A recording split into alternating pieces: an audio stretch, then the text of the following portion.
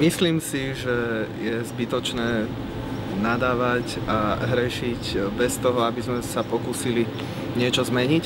A túto šancu máme spoločne 4. novembra, kedy opäť raz náš hlas môže pomôcť správnej veci.